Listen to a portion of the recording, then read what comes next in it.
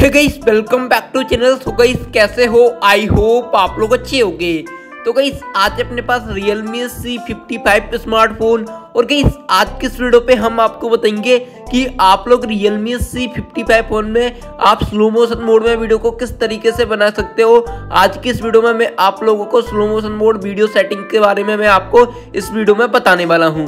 तो गाइस उससे पहले आप लोगों ने अभी तक इस वीडियो को लाइक नहीं किया है लाइक कर दें। साथ ही आप लोग इस चैनल पर नए हो तो चैनल को सब्सक्राइब करके बेल आइकन को प्रेस ज़रूर से कर लें, क्योंकि आपको इस चैनल पर काफ़ी इंटरेस्टिंग इंटरेस्टिंग वीडियोस मिलती रहेंगी।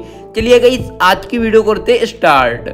तो गई स्लो मोशन मोड में वीडियो बनाने के लिए आपको यहाँ पे क्या करना होगा, वो चीज़ आपको पे बिल्कुल ध्यान समझनी है। तो गई सबसे पहले आपको यहाँ पे अपने फ़ोन का कैमरा एप्लीकेशन को ओपन कर लेना है। तो कहीं मैं यहाँ पे अपने फ़ोन के कैमरा एप्लीकेशन को ओपन कर लेता हूँ और कहीं उसके साथ मैं आपको ये भी बताऊँगा कि आप लोग काफ़ी अच्छी क्वालिटी में स्लो मोशन मोड वीडियो को किस तरीके से बना सकते हो। बहुत सारी चीज़ें आपको इस वीडियो में भी मैं सब कुछ बताऊँगा। तो कहीं मैंने यहाँ पे अपने फ़ोन का कैमरा एप्लीकेशन है, वो मैंने यहाँ पे ओपन कर लिया है। आप लोग यहाँ पे देख सकते हो कैमरा एप्लीकेशन है, वो सिंपली मैंने यहाँ पे ओपन कर लिया है। अब नीचे आपको यहाँ पे काफ़ी सारे ऑप्शंस देखने के लिए मिल रहे होंगे पोर्ट्रेट वीडियो वगैरह। तो साइड में आपको एक ऑप्शन दिख रहा होगा, मोर का।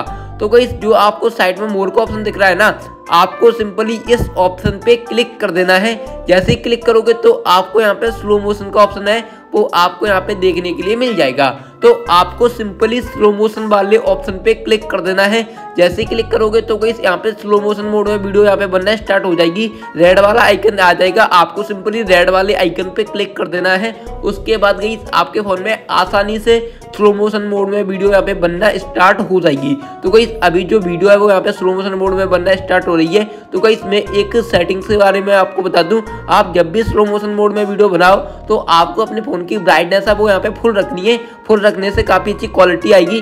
तो वैसे मैं एक अलग से वीडियो और बनाऊँगा उसमें मैं डिटेल में समझा दूँगा। तो कहीं अभी जो वीडियो बन रही है वो यहाँ पे स्लो मोशन मोड में अभी जो वीडियो बन रही है। अब वो किस तरीके की वीडियो बनी है वो मैं एंड में आपको दिखाऊँगा।